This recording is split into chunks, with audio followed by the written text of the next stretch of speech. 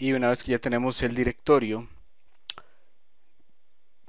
a donde vamos a llevar el backup entonces podemos correr perfectamente el comando para crear ahora sí el backup de Studio con los nuevos eh, repositorios en el archivo sources.list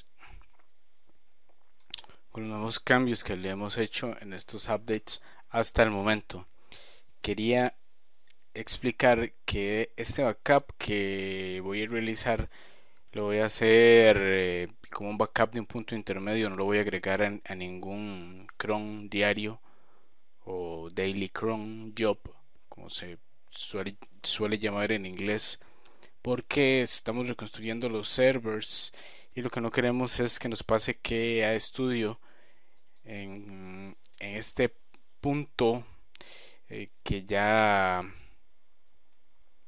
lo hemos logrado estabilizar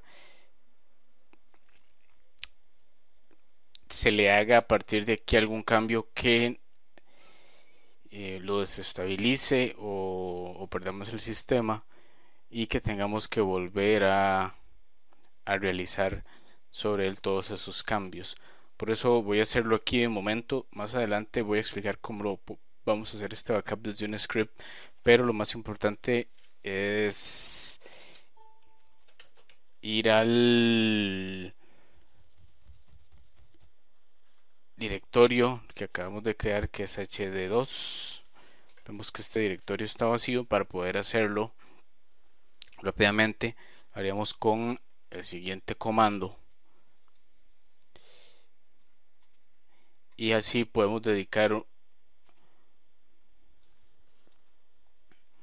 más tiempo en otra sección a realizar el backup eh, propiamente desde un script. Cuando sería tar menos cvzpf como lo hemos estado viendo en, en capítulos por ejemplo el capítulo 2 backups es uno de los capítulos o cartridge donde lo hemos visto. Y en este caso sería dirs para mantener la convención del proyecto de Barlab Virtual Machines. Creo que me falta aquí. Vamos a ver. Sería VMware Virtual Machines Virtual Machine. Correcto.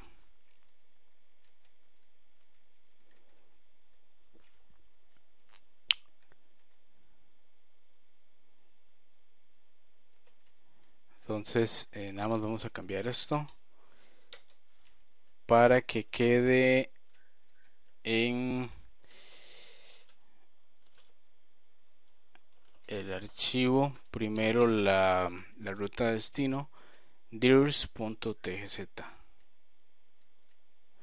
ok algo de lo que quería hablar era esto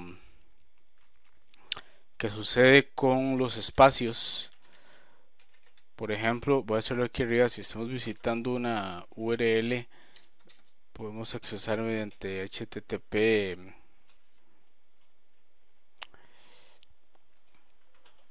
hello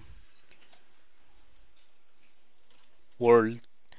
Este símbolo es el símbolo de porcentaje. Ese símbolo me va a indicar inclusive aquí parece que sería imposible sería así hello, helloworld.com slash eh, hello world. En este caso sí sería posible a partir del slash utilizar este este símbolo de porcentaje que representa un espacio. A nivel de sistema para poder representar ese espacio